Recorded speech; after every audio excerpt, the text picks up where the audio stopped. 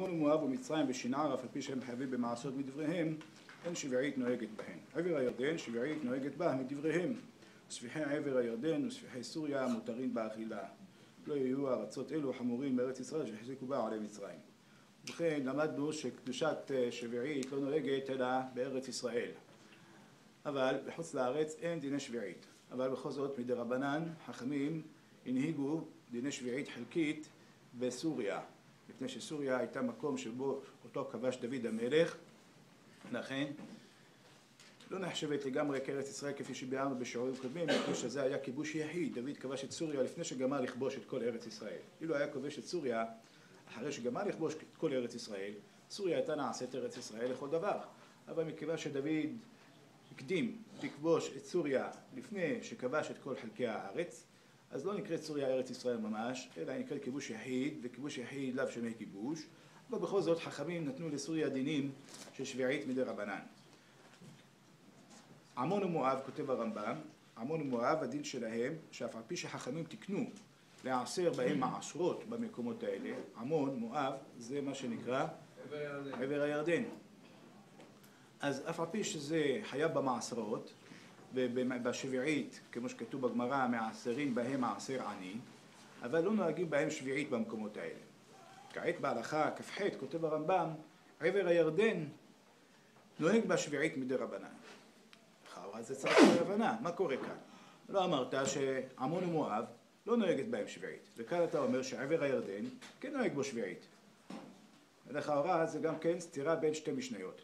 במסכת ידיים כתוב במשנה שעמון ומואב הם מחוץ לארץ ואין שביעית נוהגת בהם, כך כתוב במסכת ידיים.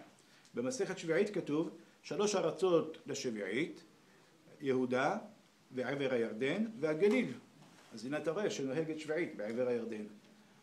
מתרץ המהרי קורקוס, רבינו יוסף קורקוס, מתרץ כך, אומר יש בעבר הירדן שני חלקים. יש את החלק שבו כבש משה רבנו ארצות סיחון ועוג. עוג עוג מלך הבשן. מה זה הבשן? ואת גולן בבשן. זה הגולן, זה הבשן. זה ארצות עוג, שמה. למעלה ברמת הגולן זה איפה שיש עכשיו הרבה שלג.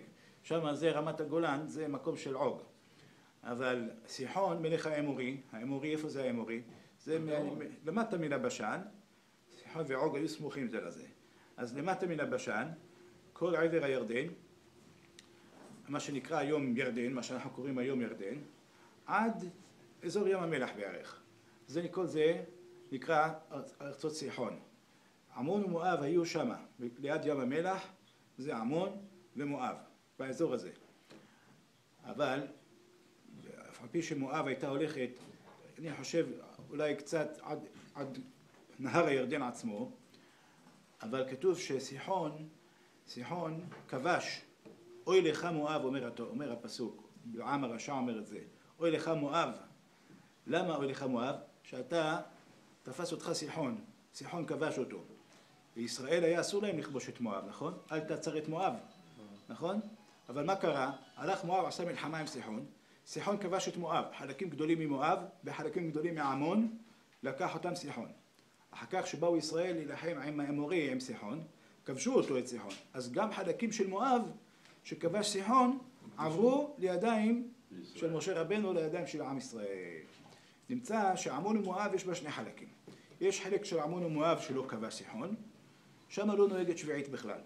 ויש חלק של עמון ומואב שאותה כבש סיחון, שם זה נקרא עבר הירדן.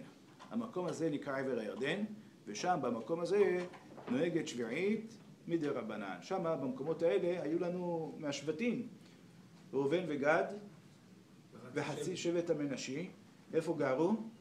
גרו בעבר הירדן. אז הם נקראים המקומות האלה מקומות שכבש משה רבנו, ויש בהם, הם לא נחשבים ארץ ישראל לגמרי. כבר אמרה התורה בפירוש, תבואו אל הארץ, יעבר לירדן, התורה אומרת בפירוש בפסוקים.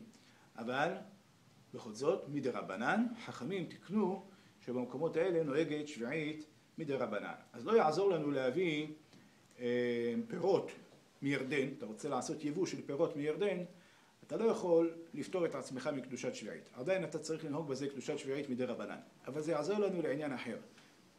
לעניין מה? לעניין הספיחים. הספיחים, אתם זוכרים, דיברנו באיסור ספיחים. ספיחים זה הירקות שאסורות, אסורות באכילה גם כן הירקות, כן, הירקות יותר חמורות, הדין של הירקות יותר חמור מהדין של הפירות. חכמים גזרו על הירקות, מפני שרגילים לזרוע אותם בכל שנה ושנה, והיו עוברי עבירה הולכים וזורעים, ואומרים זה גדל מאליו. אז אסרו חכמים את הספיחים באכילה לגמרי, שזה התבואה, החיטה, קטניות, הירקות, כל אלה שגדלים בכל שנה ושנה צריכים לזרוע אותם מחדש, חכמים גזרו בהם. איפה חכמים גזרו? על איזה ספיחים גזרו? דווקא על הספיחים שגדלים בתוך ארץ ישראל. בתוך ארץ ישראל, איזה ארץ ישראל?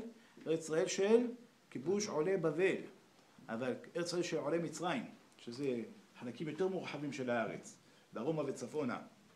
וכן, עבר הירדן שכבש משה רבנו, כל המקומות האלה, לא נוהג בהם לשרוף ספיחים. אז אתה יכול להביא משם ירקות, והירקות שגדלים שם מותרים לנו באכילה. ברוך ה' לעולם, אמן ואמן.